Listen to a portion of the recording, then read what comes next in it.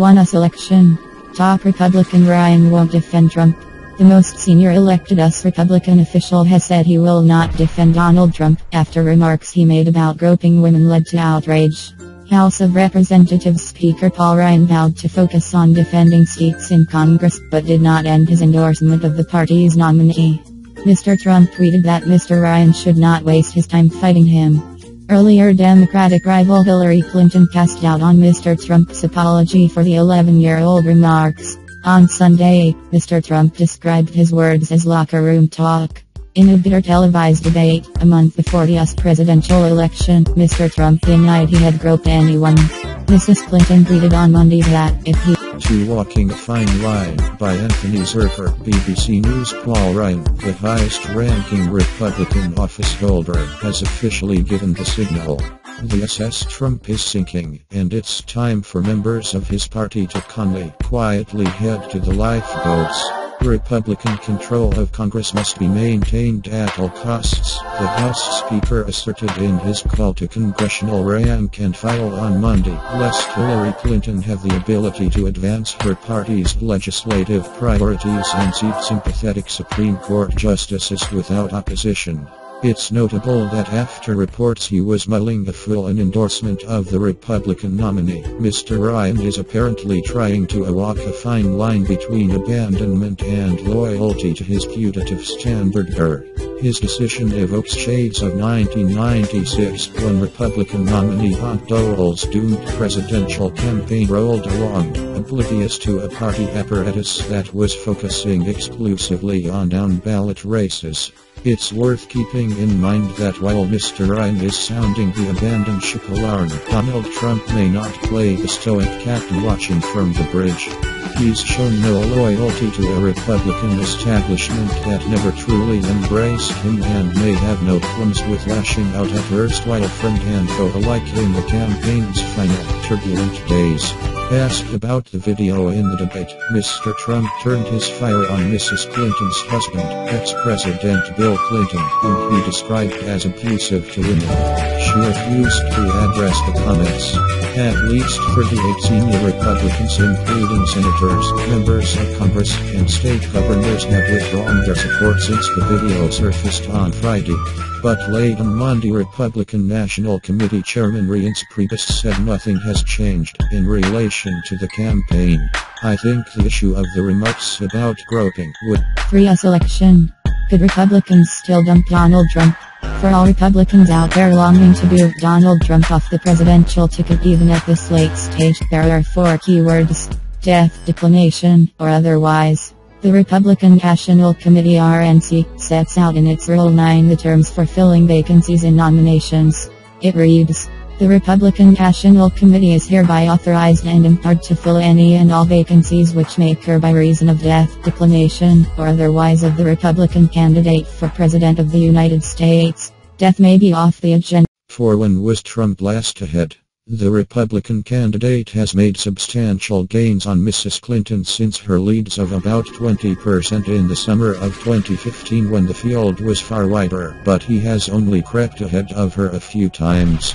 The last came after the Republican National Convention at the end of July when Mr. Trump officially accepted the party's nomination.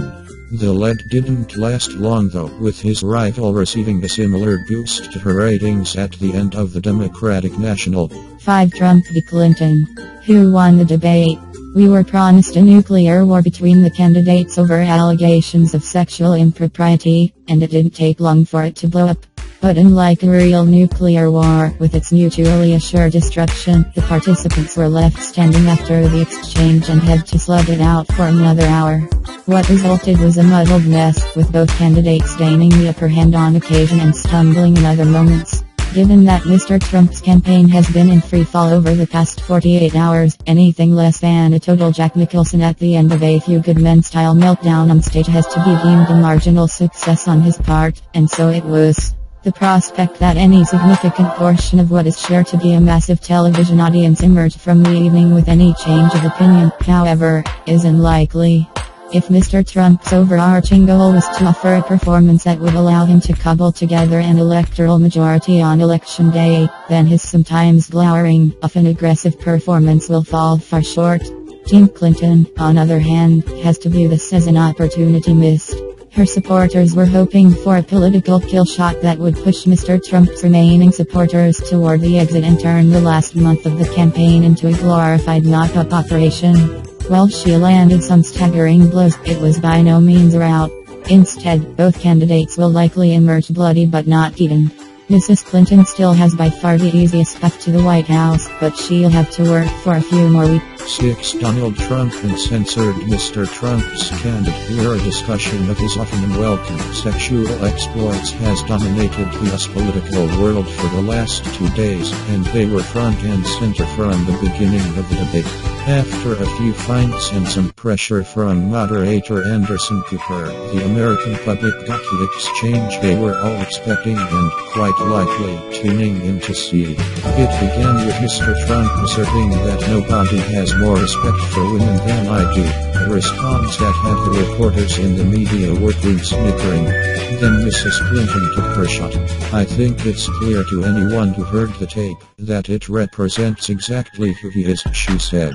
Because we've seen this throughout the campaign. And from there, the gloves came off. After dismissing his recording as locker room talk, for which he was sorry, Mr. Trump unloaded. 7. The Clinton Trust Factor Mrs. Clinton probably would have been satisfied if the debate had ended with that exchange, but that was just the beginning. The next few rounds would put her on her heels and prove that Mr. Trump had learned a few lessons from his prior debate shortcomings. Mrs. Clinton was forced, once again, to explain her use of a private email server as Secretary of State and, unlike the first debate, after saying she regretted the decision she quickly became mired in a more detailed explanation. Mr. Trump then carved up her teams and supervised deletion of the mails on the server that they deem not work-related. If you did that in the private sector, you'd be put in jail, let alone after getting a subpoena from the United States Congress, he said. Mr. Trump also went on the attack when Mrs. Clinton was forced to respond to excerpts of her Wall Street speeches that were acquired by hackers possibly. 8. The disappearing Muslim ban Another telling exchange during the debate was when Mr. Trump was asked by an audience member to address the issue of Islamophobia. The Republican candidate said it was a shame, and then turned the answer into a discussion of the responsibility of American Muslims to report when they see something going on. He again repeated the unfounded allegation that they hours saw the San Bernardino attackers building bombs in their house but did not inform law enforcement. When pressed by Raddatz on his proposed Muslim ban which still is detailed on his campaign website Mr. Trump said it had morphed into an extreme heading. He went on to detail a greatest hits rendition of his immigration policy. Syrian refugees could be a Trojan horse. Illegal drugs are pouring over the US border with Mexico.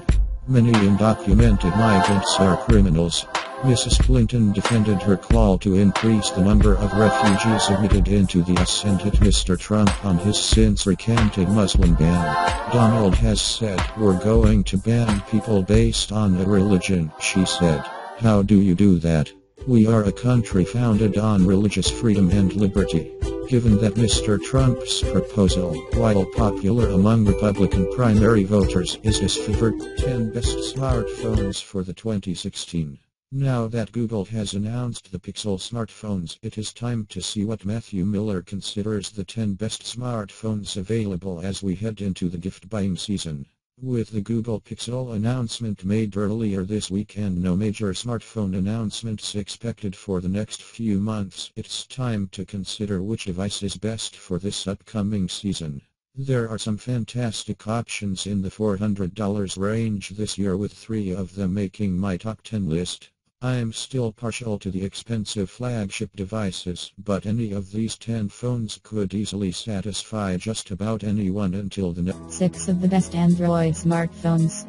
June 2016 Let's take a look a selection of the very best Android handsets currently available. 1 Samsung Galaxy S7 without a doubt, the flagship of Android handsets. Tech spec.